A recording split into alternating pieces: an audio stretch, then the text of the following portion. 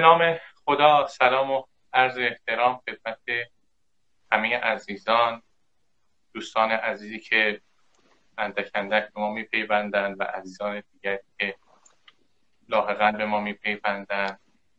به همه سلام میگیم.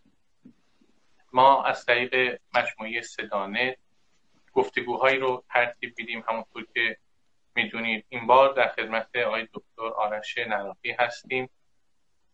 با موضوع و عنوان سنتگرایی انتقادی در قلمرو دین.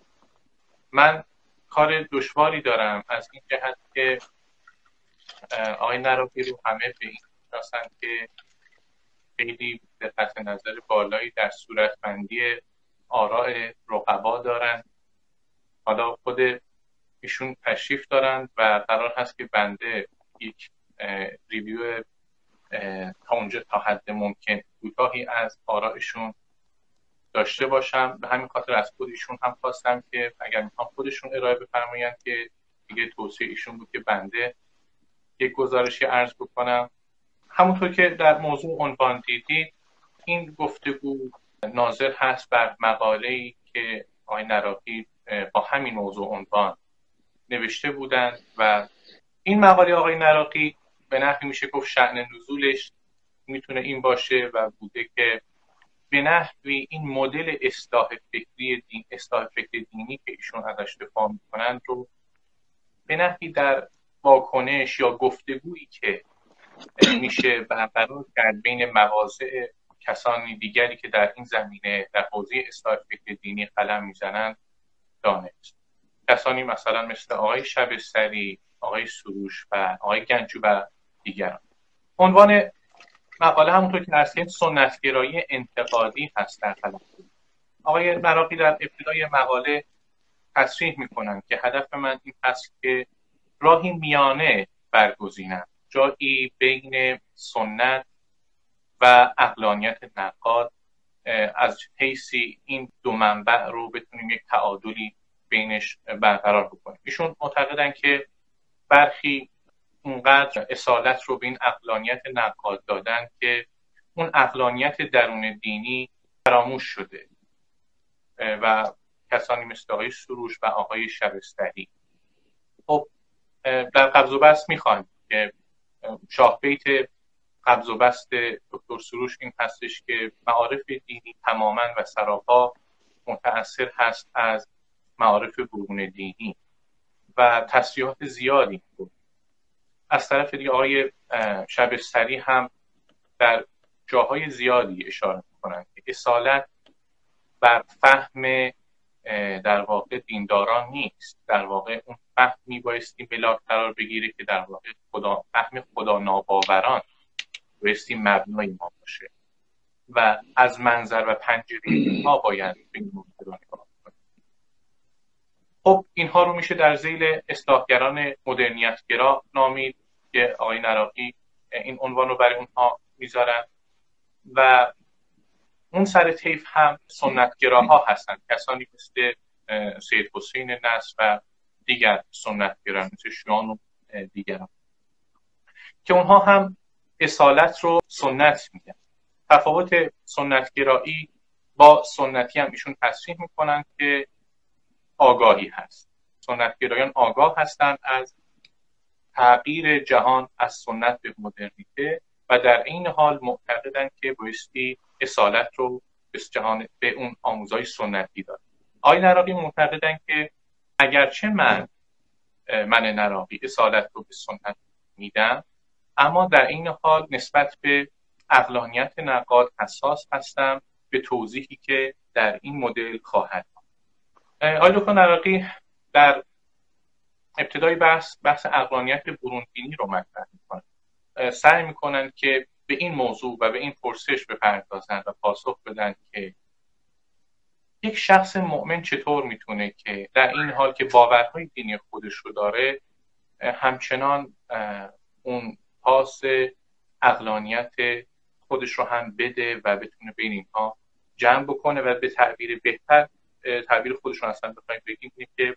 مؤمن خردورز در چه صورتی حق داره به آموزه دینی باور داشته باشه و عقلا هم موجه باشه؟ ایشون روی عقلا موجه تاکید می‌کنن یعنی عقلا موجه می‌تونه دو تا روایت داشته باشه یک روایت حد اقلی و یک روایت حد اکثری در روایت حد اکثری شخص مؤمن در این هست که ها و دلیل ایجابی به نفع باورهای خودش اقامه بکنه و دیگرانی که این باور رو ندارن رو سعی بکنه قانع بکنه.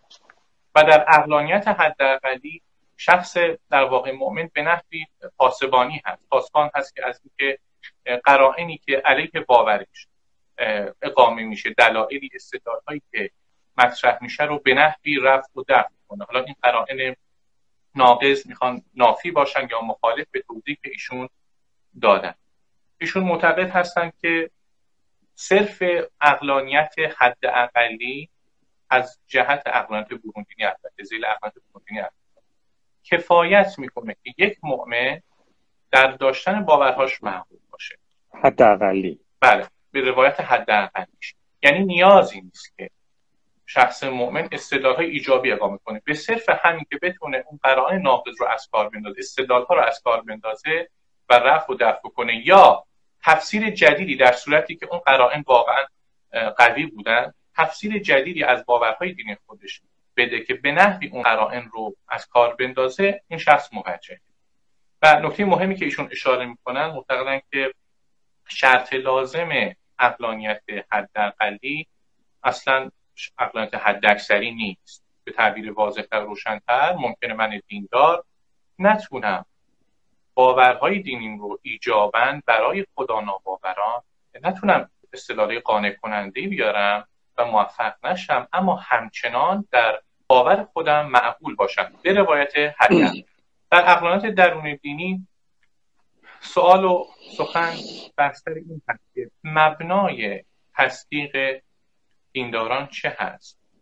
دینداران از چه حیث می‌تونن موجه باشن در اینکه باورهای دینیشون که اتخاذ کردن به چه شکل می‌تونن موجه و معقول باشن؟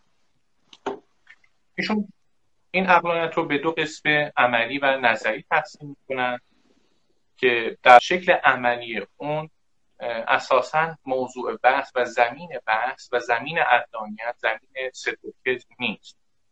ما می‌تونیم تحت شرایطی فارغ از اون جنبه های معرفت شناسانه که معطوف به صدق هست باور دینی رو یا آموزه های محوری دینی خودمون رو انتخاب بکنیم. بپذیر. اصول موضوع قرار بدیم گاهی با تصدیق قلبی که همراه با یک گرایش مثبت هست اون باور به نحوی که من ممکنه با آیه از آیات قرآن روبرو بشم و به نحوی خودم رو مخاطب اون آیات ببینم و با یک گرایش مثبت به این امید که اون باورها درست و صادق هستن باور بیارم. یا می‌تونم اون باور رو به عنوان فرض یا فرضیه در استدلالای خودم به کار ببرم و پیامدهای اون رو بسنجم. یا اون یک اصول موضوع قرار بدم که صرفا دقدقه سازگاری اون است با دیگر معتقدات خودم در منظومه معرفت هست. رو داشته باشم. در تصدیقات نظری هم زمینه بحث زمین صدق هست که ایشون هم در واقع بحث رو به قرائن عام و قرائن خاص ببخشید. ایشون قرائن گذاری داریم و قرائن غیر گذاری بله، بله. در قرائن در قرائن گذاری در واقع محوریت باورها هستند. ما می‌تونیم باورهامون رو در واقع از طریق باورهای دیگه موجه بکنیم. استدلالی اقامه بکنیم. استدلال می‌تونیم برهان نظم بیاریم برهان انباشی بیاریم و هر چیز دیگری که در واقع از طریق باورهای دیگر این در واقع باوری محوری من موجه میشه. و این تصدیقات به شکل تجربی باشن تجربه بنیان باشن به به شکلی تجربه داشته باشم و اون تجربه مبنای موجه کردن باور من باشه. برای مثال اینکه من میز روبروی خودم رو قهوه‌ای رنگ می‌بینم به صرف داشتن این تجربه می‌تونم بگم که در داشتن این باور موجه هستم. دیگه من از باورهای دیگری کمک نگرفتم. به همین خاطر ممکنه شخص به نحوی از انها واجد و صاحب تجربه های دینی بشه البته به برخی تجربه های دینی در اشاره کردن. در واقع ما همه نوع تجربه دینی رو نمی‌فهمیم مطرح کنیم. یعنی آقای نراقی نمی‌خواد و من از طریق این تجربه ها بتونم تحت شرایطی باور خودم رو موجه کنم. در تصدیقات نظری ما تفکیکی داریم قرائن عام و خاص. یعنی ما نظری گفتیم به طور کلی توضیح داریم عملی که شامل باور بنیان و تجربه بنیان و در واقع تصدیقات باور بنیان به قرائن عام و قرائن خاص تقسیم میشن. قرائن عام قرائنی هستند دلایلی هستند که in principle شأن قرینگی دارن هم برای من دیندار و هم برای دیگرانی که دیندار نیستن. استدلال های اقامه شده مثلا برهان نظم in principle علی‌الاصول می‌تونن دیگران راجبش صحبت بکنن و شأن قرینگی می‌تونن داشته باشن. اما برخی قرائن هستن که خاص هستن. صرفا برای پیروان اون دین می‌تونه معتبر باشه این مثال توجیه باور که بایستی نماز خوند وجوب نماز رو ما به استناد به کتاب یا سنت می‌تونیم موجه بکنیم که البته واضحه که چون قرین خاصه قرائن این شکلی خاص هستند خب طبیعتا فقط برای پیروان اون دین اون جمع کسانی مجموع باورها رو پذیرفتن شأن قرینگی داره و برای دیگران نه. و نهایتا من خلاصه ارز می‌کنم این قرائن خاص پرسشی مطرح می‌کنن و پاسخ میدن آقای نراقی که سرچشمه هنجاری منبع هنجاری به لازم معرفت این قرائن خاص چیه؟ نهایتا به کجا ختم میشه؟ ایشون اون رو در تستیمونی میابن در گواهی. که ما می‌تونیم از طریق گواهی باورهای خودمون رو موجه بکنیم. برای مثال با پیغمبر روبرو هستیم و پیشفرز ما در شرایط عادی اینه که صداقت اخلاقی و صدق معرفتی پیغمبر مفروض هست و ما باور رو میپذیم و اگر شرایط غیر عادی بود حالا چه موقعیت و چه مضمون خبر غیر عادی بود ما می‌تونیم دوباره چک بکنیم و اون شروط گواهی رو احراز بکنیم و به شکل استنتاجی مبنای باور خودمون به اون گواهی موجه بکنیم خب آقای دکتر من سعی خیلی خلاصه ارز کنم. ببخشید پر حرفی از دوستانم عذرخواهی می‌کنم. دوستان از که اگر در روایت من خلالی هست یا اشکالی هست بفرمایید. در خیلی نه به نظرم روایت خیلی خوبی بود دیگه. این درست همونطور که شما میفرمایید. در واقع نهایتا ادعای اصلی من اینه که فرض کنید که شما به عنوان یه فرد دین یعنی در واقع شما به درستی دو سوال رو از هم متمایز کردید. یه سوال اینه که چجوری من می‌تونم دیگران رو که در قلمرو باورهای دینی خودم نیستن رو قانع بکنم؟ یکی هستش سوال دوم این هستش که آیا من در تداوم باورداشت خودم موجهم یا نه؟ یعنی من آیا حق دارم به این باوری که الان دارم ادامه بدم یا نه؟ بنابراین یه سوال اینه که آیا ما این باوری که داریم برای همه قابل قبول و قابل اثبات است یا نه؟ یکی اینکه حالا به هر دلیلی شما این باور رو پذیرفتی آیا تداوم این باور معقول یا نه؟ این دومی در واقع سوال اصلی منی یعنی یک کسی به هر دلیلی بر مبنای تجربهش باورهای دیگرش ملاحظات عملگرایانه پاره باورهای دینی رو اختیار کرده. تحت چه شرایطی این فرد همچنان حق داره به لحاظ معرفتی که به این باور خودش تداوم ببخشه. و استدلال من این بود که در این شرایط مادام که فرد موارد ناقضی رو که انتقادات ناقضی رو که بر نظر خودش وارد شده بتونه دفع بکنه تداوم باورش معقوله. بنابراین فرق می‌کنه اینکه شما بگید که من چجوری می‌تونم خدا رو اثبات بکنم. این یک سواله. سال دوم اینه که تداوم باور من به خداوند تا کی می‌تونه معقول موجه باشه. این یه سوال دیگریه. در واقع نظری که من اینجا پیشنهاد می‌کنم بیشتر ناظر به دین باورانه.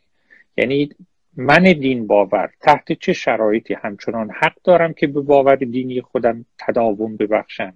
و تحت چه شرایطی لاجرم باید از این باور دست بشویم یا مورد جرح و تعدیل و اصلاحش قرار بدم؟ بله روایت بسیار خوبی فرمودید. ممنونم از دقت نظرتون. من فقط یه نکترم بگم. در گزارش که شما از نظر آقای دکتر سروش رو و شبستری دادید به نظرم یه نکته قافل مون اونی که مورد انتقاد من بود در نظر آقای دکتر سروش نظری قبض بس این نیست که معارف دینی از معارف غیر دینی متاثر می شود اونی که در نظریه قبض و بس آمده اینه که آقای دکتر سروش میفرمایند که تمام معارف دینی تماما و یک سره تابع معارف غیر دینی نه متأثر. اون نکته که به نظرم نهایتا به نادیده گرفتن منطق درونی خود تفکر و اقلانیت دینی می انجامه در مورد آقای شبستری هم بله شما درست گفتی. یعنی ایشون نهایتا میگن ما کتاب و سنت رو باید بر مبانی خدا ناباوران قرائت بکنیم. یعنی گویی که مبنای خدا باوران برای فهم کلام خداوند مبنای ناکافی و بلکه نادرستیه. یعنی باز شما می‌بینید در واقع معقولیت درون دینی حجیت درون دینی در واقع به یه معنا خرد دانسته شده. بله ممنونم. و حالا در تایید فرمایشاتتون و شاهدی بخوایم بیاریم نمونه همین تبیین که دکتر سروش از وحی دارند و نظریه بس تجربه نبوی که در پی توضیح مکانیزم وحی هستن احتمالا. حالا شما باید بگید. برداشت من اینه که یکی از همون نمونه هاست. یعنی بدون هیچ ضرورت نظری یا عقلی دست کم ضرورت نظری عقلی که واضحا بهش تصریح نشده به خاطر اقتضاعات اقلانیت نقاد ایشون تبیین جدیدی ازش ارائه میدن. بله. نظریه که من پیشنهاد می‌کنم در تغییر محافظ کارانه تر یعنی نظریه اصلاح دینی نظریه بازسازی دین نیست. یعنی اون چه که شما در دوره های متأخر در آثار آقای دکتر سروش و آقای شبستری می‌بینید حرکت از نظریه اصلاح فکر دینی به نظریه بازسازی خود دین است. عرض من این که شما اگر در چارچوب نظریه اصلاح فکر دینی بمونید اون وقت نتیجهش اینه که شما در صورتی باید دست به اصلاح باورهای دینی بزنید که قرینه ناقض نقض ناشده برای اون باورها باشه. وقت یا باید اون باور رو اصلاحش بکنید یا باید کاملا کنارش بگذارید. ولی مادام که چون این ضرورتی ایجاب نکرده اونچه که در سنت آمده به خودی خود به صرف اینکه در سنت هست حجیت داره. ما دست به ترکیبش نمی‌زنیم. آی دکتر اگر بخوایم همدلی بیشتری باقیش سروش بکنیم ایشون جاهایی از جمله توی بحث تجربه نبوی اشاره نمی‌کنن که اون دغدغه یا ضرورت عقلی هست و اون به خاطر اون بحث کلام باری هست که مدل سنتی نمی‌تونه تبیین بهتری ازش از اون ارائه بده. خب این اشاره نداره. منتها باید اینو نشون بدن دیگه. من هیچ جا ندیدم که ایشون بگن دل سنتی بنا به این دلایل ناقص و نارواست.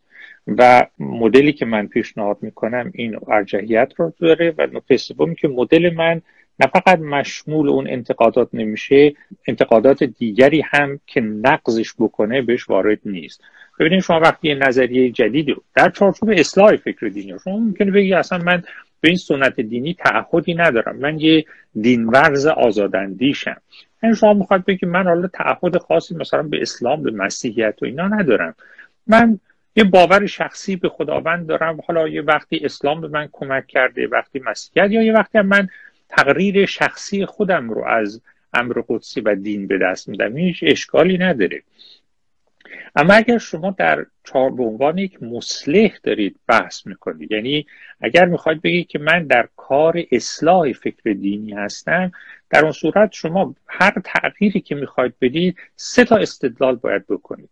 استدلال اول اینه که به دقت نشون بدید نظریه سنتی با مشکلاتی مواجه شده که قابل حل نیست یعنی با موارد ناقض نقض ناشده مواجهه. نکته دوم نظریه بدیل خودتون رو پیشنهاد بدید و نشون بدید که این نظریه بدیل از اون موارد ناقض نقض ناشده ایمن است. و نکته سوم نشون بدید که خود این نظریه مبنای موجهی داره و مورد ناقض نقض ناشده ای نداره. اگر شما این سه قدم رو بردارید البته کارتون کاملا موجه و قابل دفاع در چارچوب پروژه اصلاحه. ولی یک کسی ممکن بگه من نه چون تعهدی به این سنت به این چارچوب دینی ندارم. من یه به اصطلاح دینورز آزاداندیشم. نه فقط از این سنت هر سنت دیگری هر جای دیگری که به هر حال باورایی ببینم که به اقلانیت من تناسب بیشتری داره همون رو اختیار می‌کنم. هیچ اشکالی به نظر من نداره. اون یه مدل متای پروژه متفاوتی است. اون دیگه پروژه یه جور بازسازی دین است. کاملا در جای خودش مواقعی کاملا ممکنه ضرورت پیدا بکنه. اما پروژه اصلاح دینی نیست. و نکته که من در این مقاله اشاره کردم و بعدا هم شما می‌بینید که به مرور زمان آشکارتر شد. اینه که واقعا در جریان نواندیشی فکر دینی در بعد از انقلاب اسلامی در ایران ما بعد از پروژه اصلاح دینی با دو پروژه بدیل دیگر روبرو شدیم. یکیش پروژه باسازی خود دین است. یکیش پروژه معنویت یعنی اصولا یه جور معنویتی که بر چارچوب ادیان نیست و به چارچوب ادیانیش تعهد خاصی نداره. برای این سه پروژه رو باید از هم جدا کرد. پروژه اول معتقد و پایبند به چارچوب سنت هست و در داخل این چارچوب مایل است که اصلاح فکر دینی بکنه. مدل دوم به یه دلایلی معتقده که این پروژه ناکام است و ما باید بریم اساسا یه جور بازسازی دین بکنیم. یعنی یه دینی بسازیم. حالا هیچ اشکالی نداره. ما از عناصر دین سنتی هم استفاده بکنیم. بنا به ملاحظات نظری و عملی. یعنی ممکنه بعضی قسمتاش همچنان به نظرمون جالب باشه. ملاحظات عملیش هم ممکن مسلحت گرایانه باشه. بالاخره شما وقتی عناصر رو از دین معلوف بر بگیرید خب در ذهن مخاطبین پذیرش بیشتری خواهد داشت. بنابراین شما از این عناصر و عناصر بیرونی ترکیب تازه دین تازه می‌سازی یا کاملا ممکنه بگی که اصلا من برای اقناع شور معنوی بشری تعهد خاصی به هیچ چارچوب دینی خاصی ندارم. مادامی که سرچشمه های معنوی رو از هر جایی که این بسیار آتش معنوی من رو سیراب می‌کنه باشه برای من قابل قبوله. اینا سه پروژه کاملا متفاوت به نظر من بسیار معقول و محترمن اما باید توجه کنیم که سه پروژه متفاوتن. و بحثی که من در سنتگرایی انتقادی کردم ناظر به پروژه اول است نه دوم و سوم. پس احتمالا بایستی این بحثی که شما چند سال پیش مطرح کردید و قدری جنجالی شد اینطور بفهمیم که بحث فرق سازی به این معنا مد نظرشون بله دیگه بله. در نظر من فرق سازی هیچ اشکالی نداره. این اتفاقی که در تاریخ فرهنگ ما مکررن و مکررن رخ داده. خود نواندیشان دینی ما خود آقای دکتر سروش صریحا میگن میگن مثلا تشیع فرقه بوده در جهان اسلام. تسنن یه فرقه است. مولویه یه فرقه است. و به نظر من تعبیر کاملا درستیه. هیچ اشکالی نداره. به این تعبیر واقعا به نظر من میاد که موج متأخر جریان نواندیشی دینی که در نوشته های متأخر آقای دکتر سروش و آقای شبستری اومد این هم یه فرقه تازه در جهان اسلام. فرقه خیلی خوب و محترمی هم هست. به نظر من اشکالی هم نداره. مثل فرقه تصوف که در اسلام به وجود اومد. اینا یه درک و تلفیق دیگری از دین داشتن منابع تازه به تفکر دینی ارائه کردن. حالا ما نمونه های متجددانه و متأخرش رو می‌بینیم. به حال من از اینکه یه فرقه تازه به وجود بیاد هیچ اشکالی نمی‌بینم بلکه به نظرم خیلی جاها ممکنه به شکوفایی فرهنگی ما کمک بکنه. و واقعا هم کرده. ولی به هر حال باید توجه کنیم که این غیر از پروژه اصلاح فکر دینیه. یه پروژه دیگری که در جای خودش می‌تونه مورد بررسی قرار بگیره. کاملا هم ممکنه که پروژه مفید و موفقی هم از کار در بیاد. من یاد بحثی آقای شبستری هم میافتم که ایشون حداقل شاید در بد و امر آدم اینطور فکر کنه که ایشون به اون منطقه درون دینی هم اهمیت میدن. وقتی که ایشون بحث از فهم می‌کنن و میگن که فهم در واقع از موضع خدا ناباور باشه خب ایشون اصطلاح های اقامه می‌کنن اصطلاح هرمنوتیکی اقامه می‌کنن که اساسا فهم همگانی یعنی ما فهمی که مختص ادعی باشه نداریم. چیزی که شبیه کن قرائن خاص شما شاید بشه ولی من نمی‌خوام فعلا وارد بشم. که اگر ایشون اینطور نگاهی داشته باشن ما نهایتا می‌تونیم بگیم که استدلال ایشون ناکافیه. نه اینکه بگیم ایشون کاملا بی هستن به منطقه درون بالاخره جد و جهد خودش رو کردن.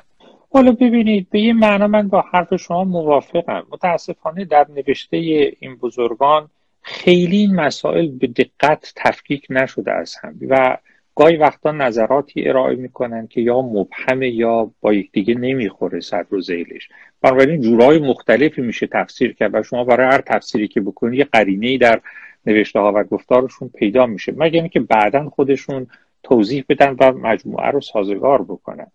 ولی ببینید اینی که ما باید مبنای فهم همگانی باشه غیر از اینه که شما باید متن رو بر مبنای مفروضات خدا ناباوران بخون اینا دو تا ادعای مختلفه. فهم همگانی لزوما خدا ناباورانه نیست. اینی که شما میگید که متن مقدس رو فقط باید بر مبانی مورد قبول خدا ناباوران خون من به نظرم میاد که هیچ معنای جزی نداره. و این خیلی ادعای متفاوتی است از اون که شما الان تقریر کردید. من بعید نمی‌دونم که حالا در نوشته های ایشون هر دو گزاره اومده باشه. اگر اومده باشه ناسازگاری یا ابهامی وجود داره که البته باید روشن بشه. در این صورت شما باید اینجوری بگی اگر مقصود شما واقعا اینه که متن مقدس رو جز بر مبنای مفروضات خدا ناباوران نمی‌توان خواند در اون صورت ما با نظر شما مخالفیم. یعنی همچی ضرورت اپیستمیک و هرمنوتیکی مطلقا وجود نداره. یعنی این تقدم بخشیدن به اقلانیت خدا ناباوران به نظر من معلوم نیست از کجا آمده. چرا خدا باوران باید مفروضات خودشون رو فرو بگذارن و مفروضات خدا ناباوران رو اختیار بکنن؟ چه دلیلی داره؟ اگه من معتقدم که مفروضات خدا باورانه من درسته چرا اینو رها کنم و بر مبنای مفروضاتی که غلط می‌دونم متن مقدس خودم رو بخونم. من من واقعا نمی‌فهمم دلیلش چیه. مثلا الان بحث اخیرمون نیست که درباره فهم بود. ولی این رو مطرح کرد در مقاله هم آمده که بحث اعتبار و معقولیت باورهای تجربه بنیان شما اشاره کردید توضیح دادید که ما می‌تونیم به این تجربیات اعتماد بکنیم و باور داشته باشیم. خب البته تا زمانی که قرار ناقص نداشته باشه اونها رو اشاره کرد در جایی گفتید که حتی اگر هم غیر عادی باشه. و چرا بایستی مثلا بردن آف پروف این بار برهان بر دوش دینداران باشه برای اثبات باورهای خودشون؟ چرا بار برهان رو ما کار خودمون رو دشوار بکنیم و به عهده خودمون بدیم خودمون به معنای دینداران. من سوالی برام پیش میاد که دست کم وفق این اسطوره اوکام همون تیغ اوکام که معروف هم هست. ما یک موضوع رو وقتی می‌تونیم با مفروضات ساده تر و کمتر تبیین بکنیم چرا مفروضات بیشتری رو برای تبیین موضوع بیاریم؟ البته با این شرط که تبیین های بدیل پیشفرز سبکتری داشته باشن یا بحث قدرت تبیین کنند شما نظرتون چیه دکتر؟ چرا شما به این اصل حداقل در ظاهر امر جدیش نگیرید؟ ببینید چند تا نکته است. نکته اول این هستش که من هیچ وقت نگفتم که دین باوران وظیفه اقامه برهان ندارن. در مقابله و در بحث با خدا ناباوران. من گفتم که دو تا پروژه مختلفی یکی اینکه شما می‌خواید با خدا ناباوران گفتگو کنید و اونها رو به صدق باورهای خودتون معتقد کنید.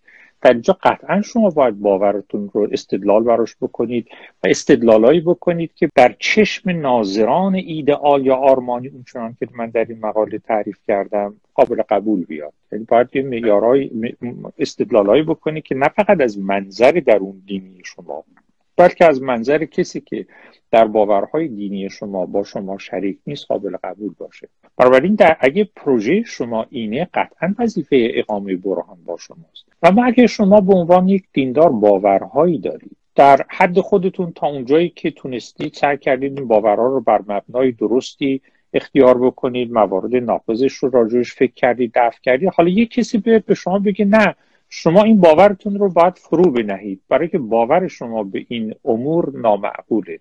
خب ما حق داریم بپرسیم چرا؟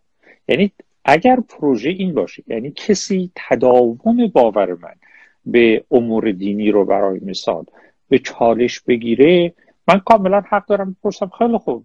من حرفی ندارم. من آمادم که اگر شما دلایل خوبی ارائه کنید از باور خودم دست بکشم. حالا دلایلتون رو بگید ما بشنویم. خب اونا دلایلشون رو گفتن. اگه شما دلایلشون رو رد کردید دیگه دلیلی نداره به لازم معرفتی که شما بگید که با وجود اینکه دلایل شما مردود است من از باورهای خودم دست می‌کشم. نه در این شرایط تداوم باور شما به اعتقادات خودتون همچنان می‌تونه معقول و موجه باشه. بنابراین تمام بحث اینه که شما در, با چه در چه موقعیتی و در چارچوب چه پروژه‌ای دارید سوال خودتون رو مطرح این نکته اولی. ببینید درباره simplicity simplicity خیلی یه مفهوم دشواریه تعریفش. یعنی تعریف simplicity خیلی دشواره. simplicity جای استدلال رو که نمی‌گیره. بعدم کاملا شما ممکنه بگید نه اتفاقا باور به خداوند خیلی کارا رو برای ما آسونتر می‌کنه. اتفاقا یکی از انتقاداتی که به دین میشه همینه.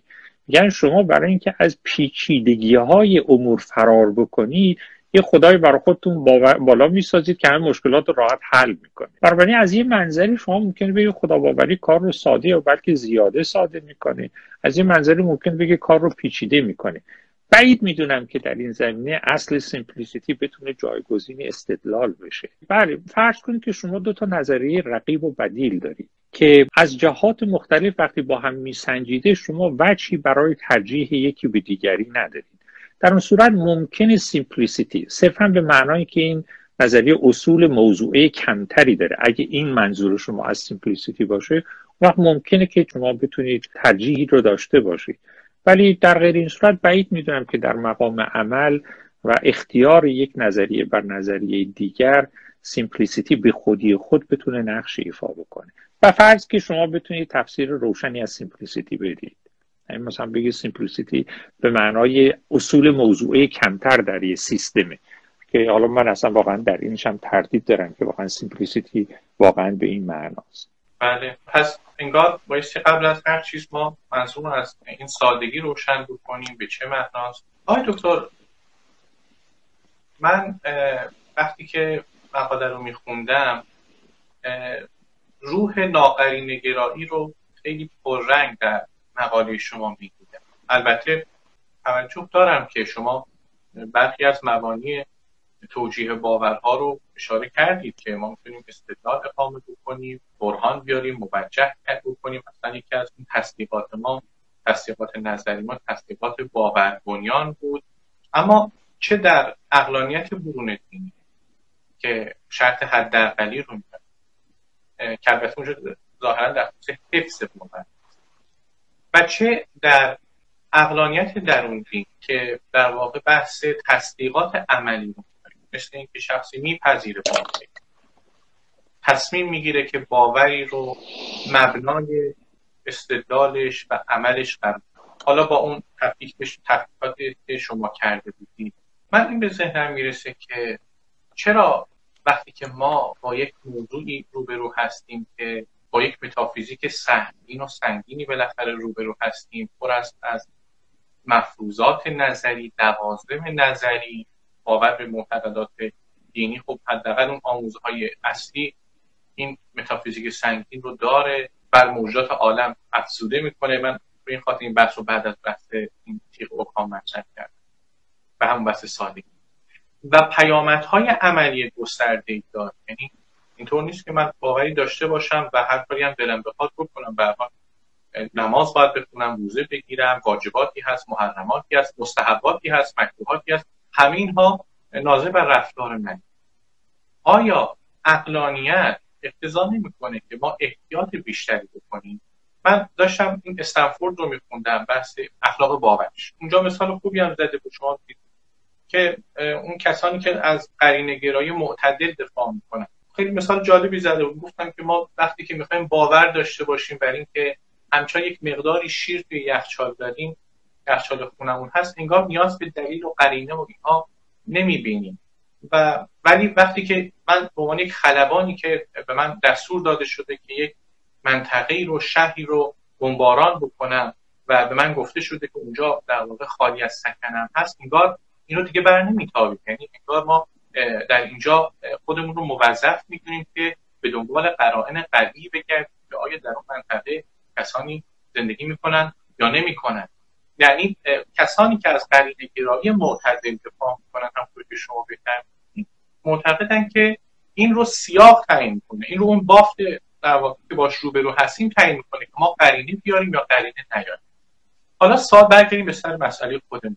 آیا ماجرای دینداری آیا ماجرای باورهایی شبیه اون خلبان نیست اگر نخوام بگم که خیلی وسیع هم هست. و اگر باشه اقلانیت اقتضا نمی‌کنه که ما اتفاقا موظف باشیم که قرائن ایجابی به نفع باور خودمون برای خودمون دسته کرد من حالا توی اقلانیت برونی هم عرض کنم فراهم بکنیم چرا قطعا همینجوره. من هیچ چیزی در اون نوشته به خاطر نمیارم که با این تحلیل شما ناسازگار باشه.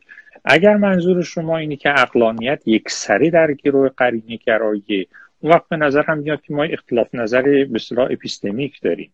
نه قرینه گرایی تا یه جایی در یه مواردی کار می‌کنه در یه جایی هم فرق نمی‌کنه. شما در دین باشید در علم باشید در هر جا که باشید. یه جایی هم قرینه گرایی به متوقف میشه برای مثال شما باید به تجربه هاتون متکی بشید به ابزرویشن هاتون متکی بشید.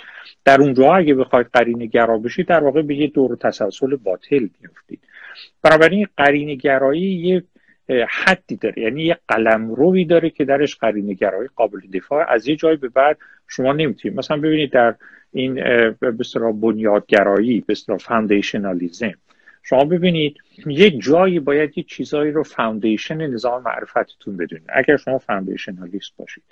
اون وقت حالا یا اون بنیادها رو باید بر مبنای این بپذیرید که بدیهی هن، بدیهیات حسی هن یا بدیهیات عقلی هن. یعنی اونجا دیگه قرینه‌گرا نیستید اونجا متوقف میشید.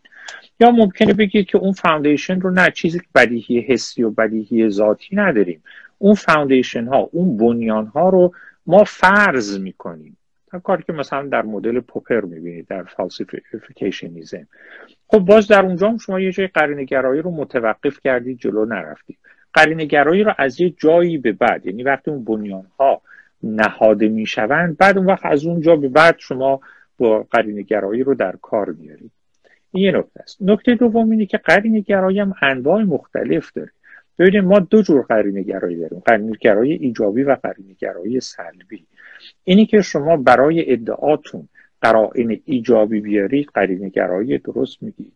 اینی که شما در نفی یک نظری هم قرینه بیارید باز اینم قرینه گراییه و اینکه شما قرائن ناقض رو نقض بکنید خود اینم باز شما همچنان در مجموعه قرینه گرایی هستید. ببینید حتی اگر شما قرینه گرا نباشید یعنی اصلا شما از سنت قرینگرایی به کل بیایید بیرون. مثلا فرض کنید که شما ریلایبلیست باشید. یعنی قائل باشید که دستگاه های شناختاری ما علل اصول قابل اعتمادند. یعنی وقتی که من یه درختی جلو خودم می‌بینم این باور که در من شکل میگه که درختی در پیش روی من است موجهه. چرا؟ برای اینکه فرایند حسی که به اون باور انجام میده علل اصول بسیار در قالب موارد گزاره های صادق تولید کرده. بنابراین در اینجا شما با اتکاع به اون فرایند معرفتی علل اصول یا علل اغلب قابل اعتماد یه باورایی رو به دست میاره بنابراین اینجا شما دو جور جاستیفیکیشن دارید. یه جاستیفیکیشن غیر قرین گرایانه است که ناشی از اعتمادی است که شما به اون دستگاه شناختاریتون دارید.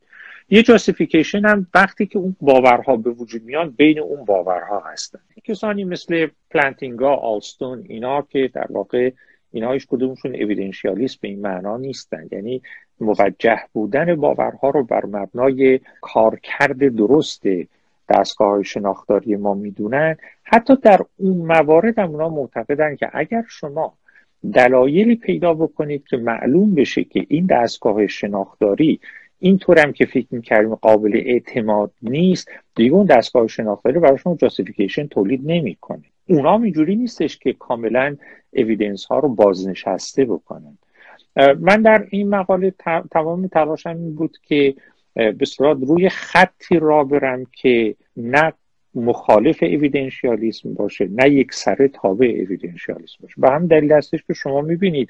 من کاملا گفتم در پاره مواقع شما حتما موظفید که قرائن ایجابی بیارید. برای مثال در مورد تستمونی یه قرینه ایجابی خیلی خوب برای باور شماست. من از شما پرسم ساعت چنده؟ شما نگاه می‌کنید مثلا میگید که چه می‌دونم نه نیم شبه نه بیست دقیقه شبه مثلا خب من حرف شما رو قرینه می‌گیرم میگم خب ساعت نه نیم شبه بعد معلوم میشه که نه شما خیلی آدم شوخی هستید خیلی مواقع سوالات رو مثلا یه جور دیگه جواب می‌دید به محض اینکه این اطلاع رو پیدا کنم دیگه به باوری که از ناشی از تستمونی یا شهادت شما بود گواهی شما بود باور نخواهم داشت. برای می‌بینید در تمام موارد ما به evidence ها قائلیم. اما یه مواردی هستش که همونطور که در مقاله هم گفتم evidence های ما دیگه propositional گزاره‌ای نیستند شما باید به تجربه های خودتون یا حتی به ملاحظات عملگرایانه اتکا بکنید. فرض کنید که یه بیماری سرطان گرفته. علم پزشکی بهش میگه که تو درمان نخواهی شد. بنابراین این فرد هیچ قرینه گزاره‌ای برای این باور که من از این بیماری به سلامت در خواهم آمد نداره برای اهل علم و متخصصین میگن که هم چیزی نیست. اما فرض کنید که این فرد در تای دل خودش خیلی قویا اعتماد داره که نه خوب میشه. در خیلی مواقع اتفاقا همین روی کرد همین روحیه باعث میشه که فرد بهبود پیدا کنه. در این شرایط فرد هیچ دلیل گزارعی موجه کننده برای این باور نداره. ولی در خیلی مواقع شما ممکنه بگید که دلایل مسلحت گرایانه وجود داره برای اینکه فرد به باوری پایبند و متعهد بماند. فرض کنید که یه دوست خیلی عزیز و صمیمی و نزدیک شما متهم شده که کار خلافی کرده و تمام قرائن حکایت می‌کنه که این فرد واقعا این کار خلاف رو انجام داده. ولی شما به حرمت دوستی که دارید و به اعتماد عمیقی که نسبت به این فرد دارید میگید من می‌فهمم که تمام قرائن این حکایتی می‌کنه. اما دارم وقتی این دوست شما میگیدم من هم شما باورش می‌کنید. در اینجا باور شما قرائن گزاره‌ای نداره. باور شما مبتنی بر اعتماد و علاقه که سالیان سال به این فرد داشتی. در پاره شرایط اتفاقا خیلی مهم و مؤثره. ببینید بسیار از این کسانی که اخیرا یه اتفاقی در اینجا افتاده بود یکی از این افراد سیاپوسی که متهم شده بود به تجاوز و قتل و سالها در زندان بود. مادر این مرد تا آخرش معتقد بود که بچه من بیگناهه و وقتی که به من میگه این من این کار نکردم من باور می‌کنم. در تمام طول این سی سالی که این مرد زندان بود مادر این باور رو داشت و بر مبنای قرائن گزاری باور این مادر نامعقول بود. ولی بعدا بعدا دی ای تست و اینا شد معلوم شد که درست بوده. یعنی ما گاهی وقتا دلایل غیر معرفتی داریم. برای اینکه پایبند به باوری ببانیم. و درسته که به لحاظ معرفتی ممکنه که شما توجیه کافی براش نداشته باشید ولی ممکنه بنا به دلایل غیر معرفتی موجه باشید برای این کار. من در واقع می‌خوام پیشنهاد بکنم که در حوزه دین و در حوزه غیر دین فرق نمی‌کنه. این اصل معرفتی بس عامه. منابع توجیه باورهای ما همیشه متکثرن. تک منبعی نیستن. گاهی وقتا قرائن گزاری گاهی وقتا قرائن غیر گزاری گاهی مسلحت های و اراده های عملی و امثال اینا. بسیار ممنونم آی دکتر من با صحبت شما کاملا موافق هستم که بله یعنی با این گزارش شما کاملا موافق هستم که حتی توی مقاله هم از اون جنبه های قرینگرانه هم دفاع کردیم. اما فکر می‌کنم که اون جایی که مسیر قرینگرایی از ناقرینگرایی در واقع جدا میشه و این حد فاصلی هست این که من در پاره موارد مجاز باشم که همونطور که تعبیر خوبی آورید به دلایل غیر معرفتی.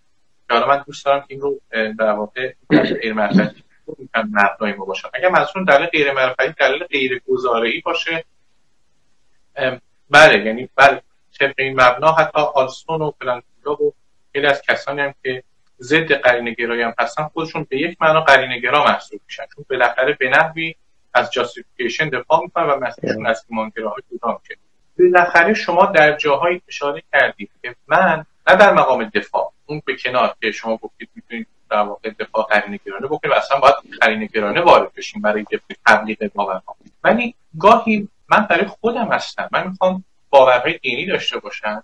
می‌خوام اینو معقول هستن یا من بعضی از مدل هایی که شما معرفی کردید اونها رو معقول دانستم. چه مدلی؟ این که من ممکنه گرایش مثبتی داشته باشم نسبت به پیامی آیه روایتی در متن دینی یا سنت دینی. به نفعی اون رو مبنا مبنای زندگی خودم قرار بحث من صرفا توی این قسمت بحث. یعنی این فقط این بخش عرض من هست که در این قسمت آیا من می‌تونم اینقدر راحت این یعنی اخلاق و باور من اجازه میده که به خاطری که دوست دارم. ولی اون که این دوست داشتم من نمی‌خوام سخیف جلوش بدم. چون عنایت دارم توجه دارم که همین گرایشات هم جنبایی معرفت شناختی می‌تونن داشته باشم ولی عرض من اینه که آیا من می‌تونم باز هم به صرف اینکه یک گرایش مثبتی دارم وارد یک مجموعی عظیمی از باورها بشم کلی طبعات, نز... طبعات عملی پیشفرض های نظری و اینها رو بپذیرم؟ یعنی اصطلاحی هم اقامه نکرد. همین که من بتونم پاسبانی بکنم هم که در واقع قرار ناقص پیش آمد رو رفت و دفت بکنم و خیالم راحت باشه که باورم موجه شده. من می‌خوام توضیح بیشتری بدم بخش پرم آیا این منجر به این نمیشه که هر کسی بخواد یک دفتر دستکی برای خودش درست بکنه در واقع مجموع باور ولو افسانه ای خیالی برای خودش درست بکنه سازگاری هم داشته باشه درونی و گرایش مثبتی هم بهش داشته باشه؟ و قرار ناقصی هم آمد هم از نافی و مخالف اونها هم رفت بکنه و دفت بکنه و بپذیره. این آیا این شیب لغزندی نیست که ما رو به این ای از انواع منظومه هایی که ریز و درشتی بخواد به وجود بیاد که هر کدوم از اینها معلومش پایش کجاست و در واقع اونها رو هم موجه بدونیم. من بازم اشاره می‌کنم ببخشید تکرار می‌کنم که من مخاطب هر اون قسمت از صحبت شما نیست که دفاع های قرین گرایانه کردید یا مجاز شمودید واضحه برای حتی این این اکسترنالیست هم برونگرا هم که خیلی قرین گرا نیستن اون معنای قرین گرای خاصش. اونها مشکلی ندارن چه بهتر اگه قرینه بود خب خدا رو شکر. ولی حرف ما اینه که اگرم قرینه نداشتید تحت این شرایطی که ما میگیم موجهی.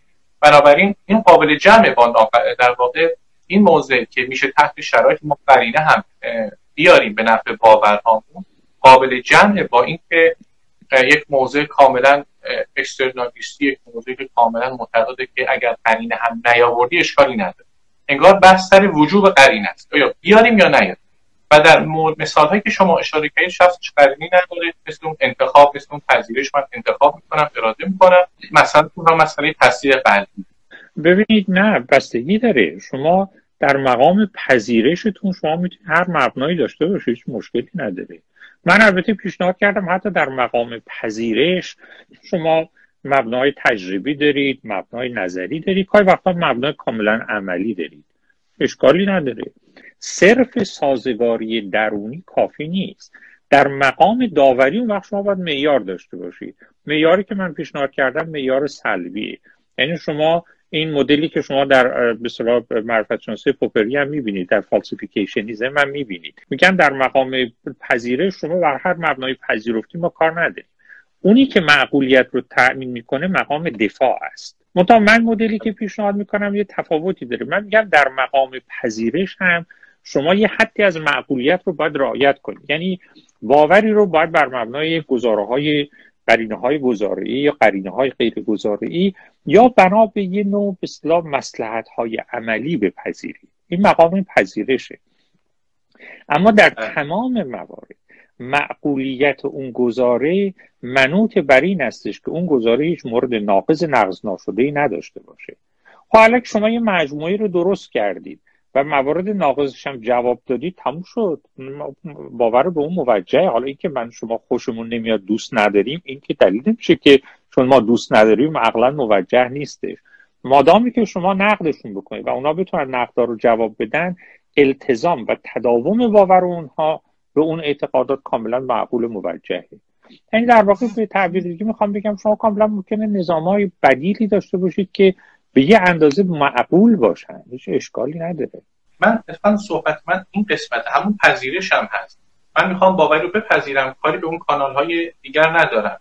بله همونی که شما به درست ما از مجاری مختلفی باورهامون موجه میشه و به یک نحو ما همین در مجموع همه انباشی هم ولی مسئله اینه که من فقط معطوف به اون قسمت هایی صحبت می‌کنم که بحث در واقع توجیه عملی گرایانه به من خاصش نیامده که اگر آمده بود باز این سوال پیش میومد که من چون گرایش مثبت دارم و یک رویکرد مثبتی به تعبیر شما دارم اون رو بپذیرم. اجازه بدید من از روی متن شما بخونم.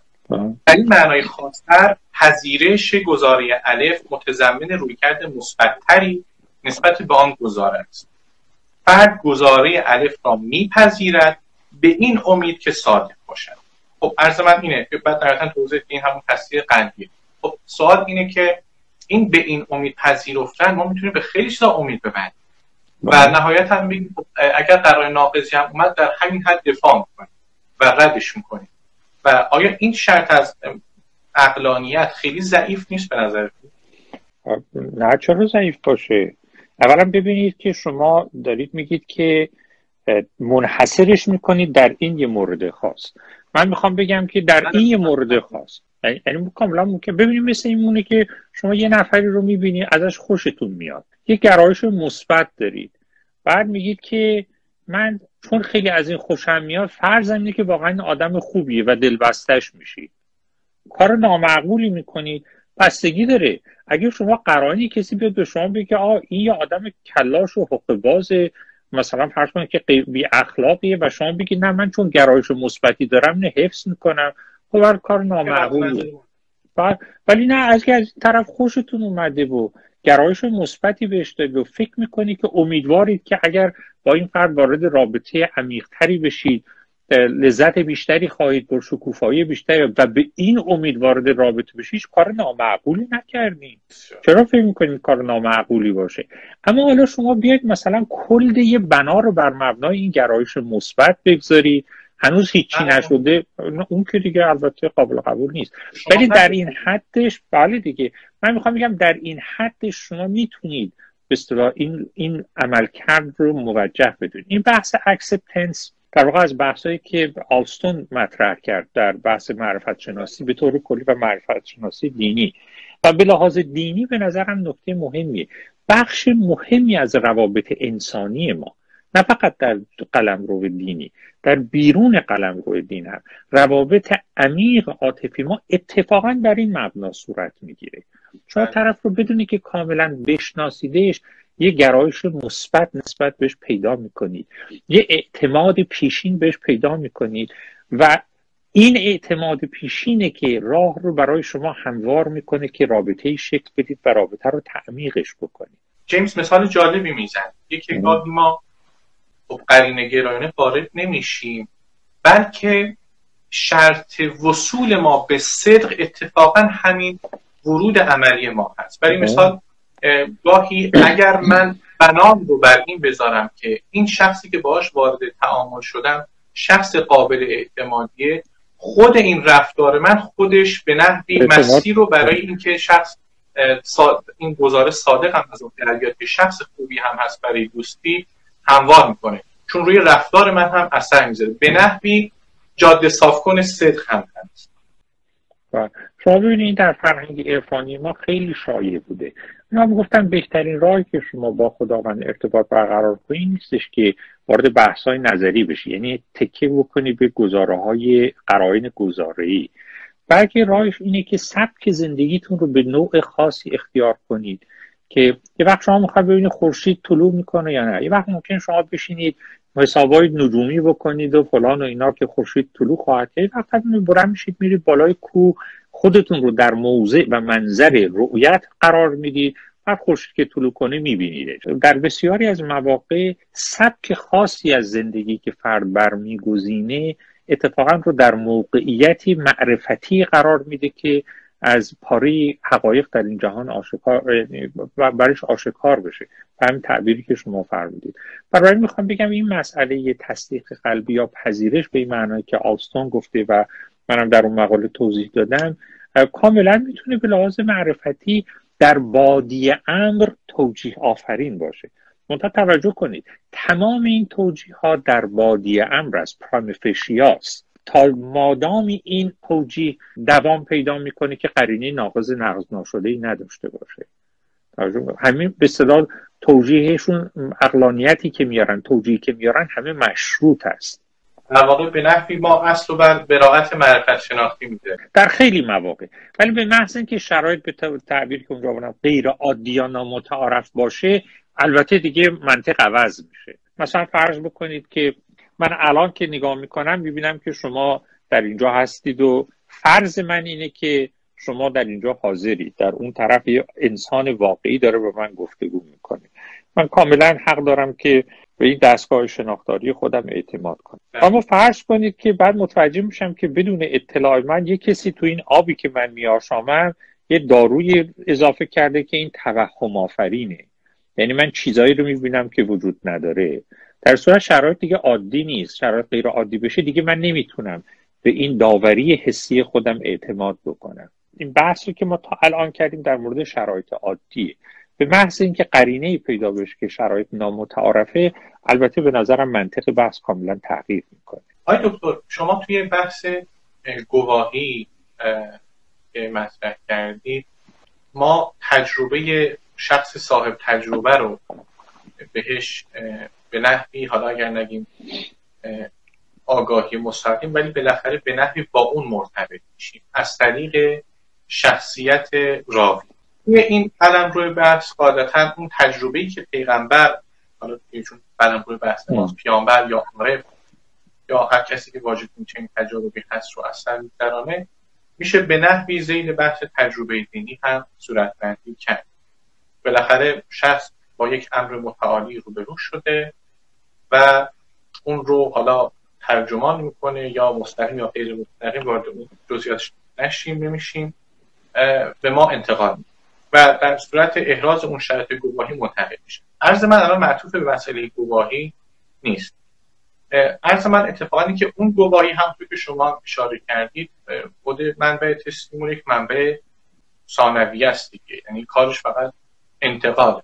همین خاطر که از اون سرفست گواهی هم ترانسمیشنه که راجع به این حرف میزن که چطور از شخصی به شخصی این دعاوی منتقل میشه. سوال من راجع به همون تجربه است. همون تجربه که قرار به دست ما می‌رسه بالاخره تجربه دینیه و شما اون رو پذیرفتید به عنوان یک منبع معتبر.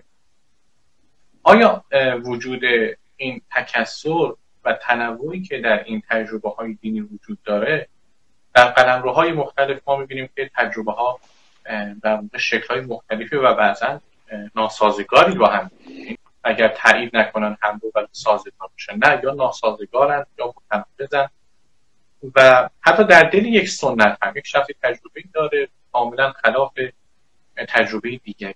آیا اینها باعث نمیشه که از اون قوت اون تجربه بکاهه؟ بالاخره مبنای بحث ها بالاخره به اون تجربه دینی می‌رسه. همونطور که شما اشاره کردید به گواهی گواهی در واقع تجربه پیامبره که قرار ما منتقل میشه آیا این وجود تشدد و تنوع گسترده این گواهی های متعارض نمی‌تونه اون اعتبار اون رو کم بکنه یا یا حتی ساقط بکنه. حالا ببینید اولا که بخش زیادی از تجربه های دینی متباینن ولی لزوما متعارض نیستن. یعنی تنوع تخالف نیستش تضاد نیستش. یعنی هیچ اشکال نداره در یه سنت دینی ما الگوهای مختلفی داریم از به تجربه های دینی مشروع.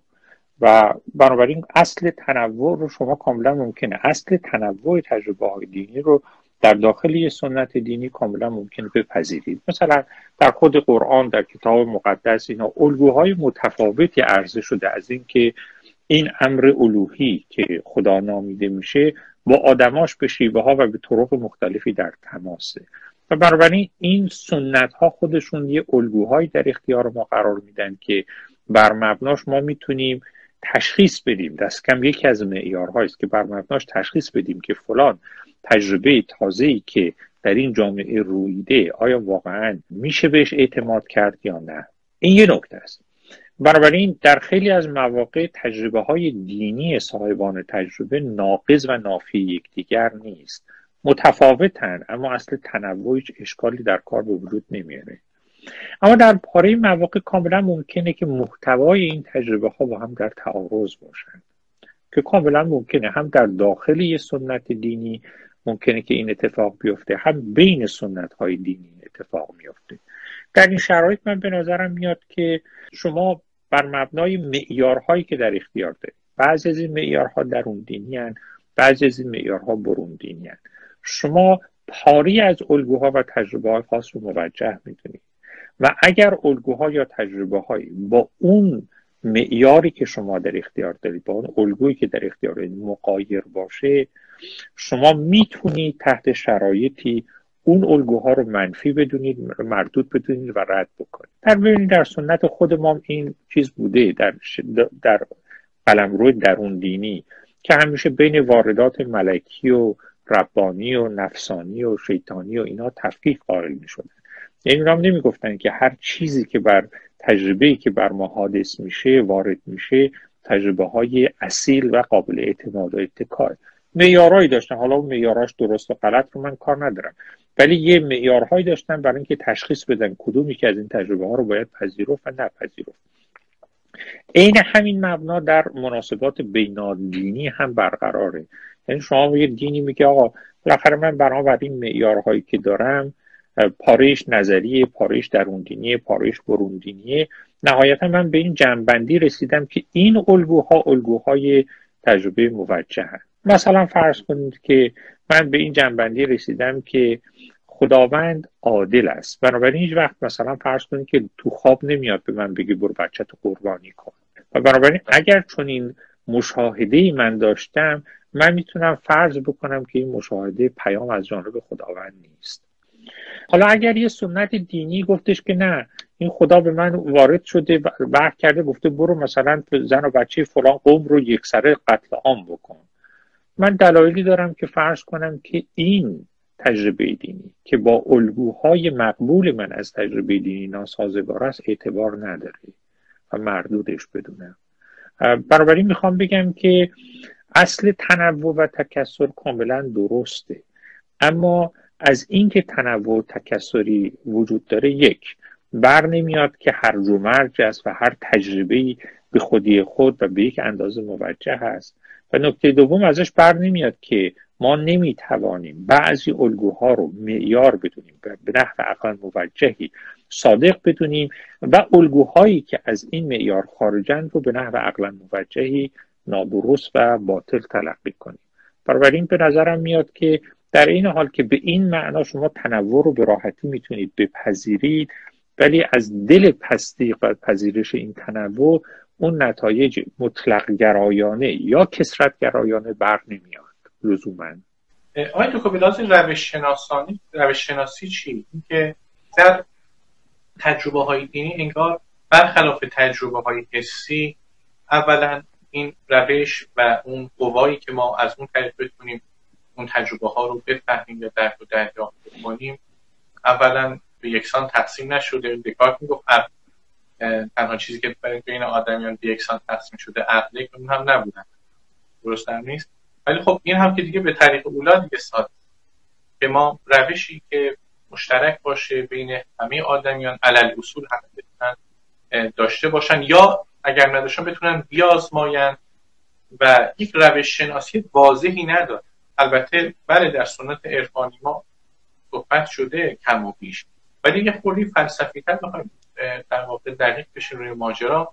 بالاخره ما داریم راجع به امری حرف می‌زنیم که دست کم در جهان جدید خلاف آمده عادت.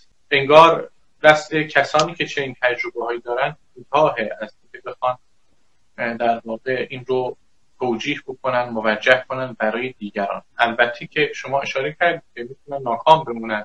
با نیست برای خودشون دست کم مقبول ولی به هر حال این تجربیات مثل تجربه حسی اینقدر قابل اشاره نیست. شما می‌تونید من رو ببرید. و بگید الان نگاه خورشید بکن دست من رو بگید و ببرید رو ببرید و من ببینم یا نبینم. بالاخره بتونم بسنجم. ولی در این تجربه ها چطور؟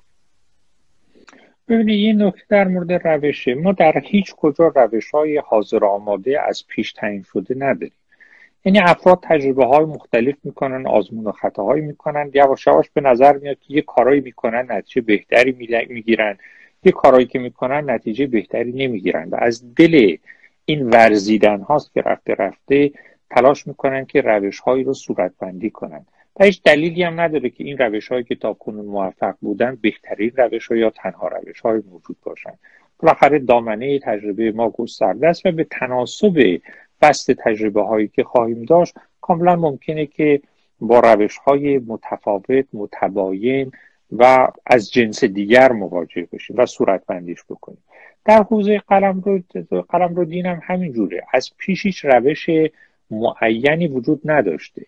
بالاخره افراد مختلف در این حوزه ها دین ورزی کردن تلاشهایی کردن و نظام های سلوکی مختلفی ساختن. شما ببینید نظام سلوکی اسلامی که از حدود قرن دوم هجری شکل گرفت و تا قرن هفتم و هشتم هجری ادامه پیدا کرد و تکامل پیدا کرد خب خیلی بسته جدی پیدا کرد و تدقیق شد. شما مثلا کتاب مثل مرساد لباد رو بخونید که یکی از بهترین کتاب های تعلیمی عرفان ماست.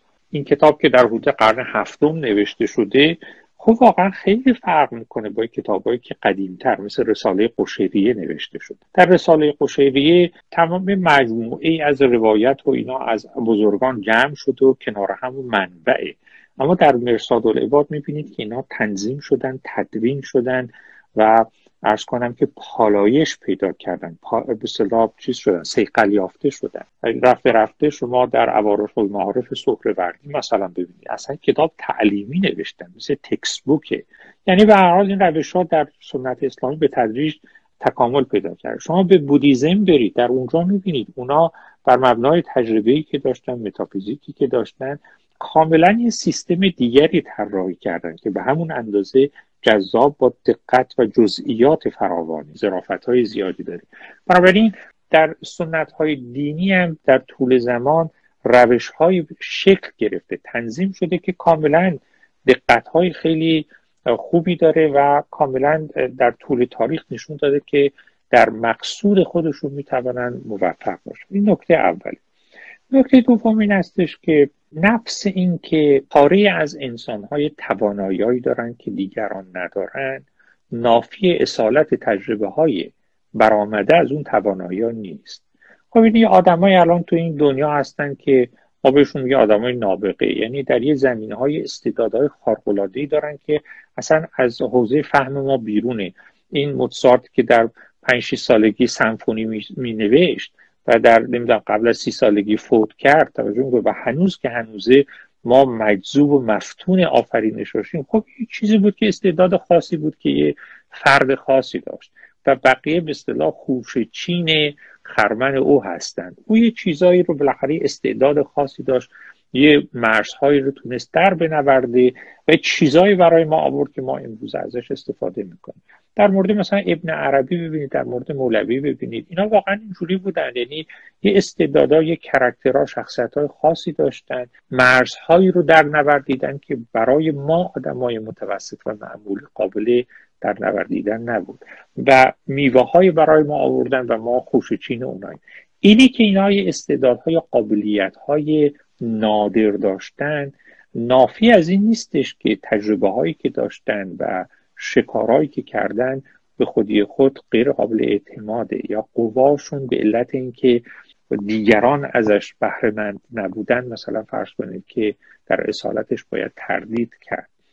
بنابراین ندرت ندرت یک تجربه یا ندرت یک قابلیت هیچ نفی اعتبار نمی‌کنه از اون قابلیت و از فراورده های اون قابلیت. نکته دوم این هستش که شما درست میگید. بعضی تجربه های حسی خب مشترک هست. یعنی ما همه وقتی میگیم یه درختی اونجاست بیا خب نگاه کن اگه قبول نداری درخت اونجا می‌بینی. بله درسته. خیلی تجربه اینجوری ولی خیلی تجربه های حسی هم اینجوری نیست. ببینید این چیزها رو شما دیدید دیگه. این یادم نیست به این ایمیجا چی میگن. شما صفحه نگاه می‌کنید صفحه یه مجموع خطوط در هم همه.